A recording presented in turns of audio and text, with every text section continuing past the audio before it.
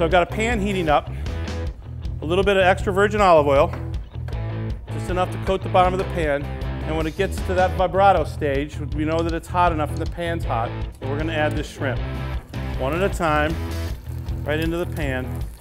We don't move them, we don't turn them, we leave them be. They're gonna get a little bit of a crust on them. You see them popping. That's that serrano pepper and the harissa. Now they'll just cook for two seconds.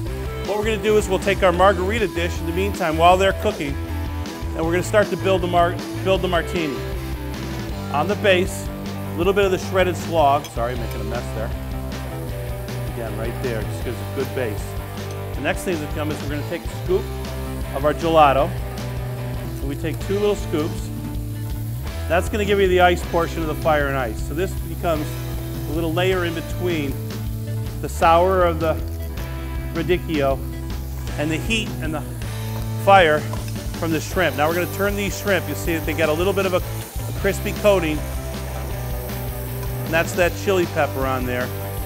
All right, these are done. And we're going to actually take them, put them right into the dish. And that's the dish. This is our fire and ice martini.